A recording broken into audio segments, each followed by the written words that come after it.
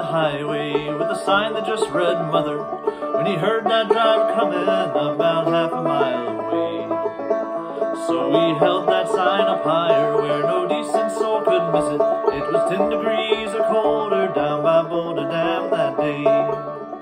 He was raised up in Milwaukee, though he never was that famous. Just a road musician to the taverns he. Singing songs about the rambling northern country girls and gambling. How the world fell on his shoulders back in Boulder, I don't know. It was out in Arizona where he heard that lady listening to each word that he was saying, to each line that he would write.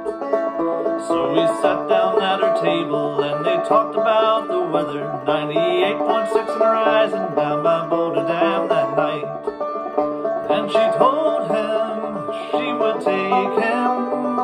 a ride in the morning sun.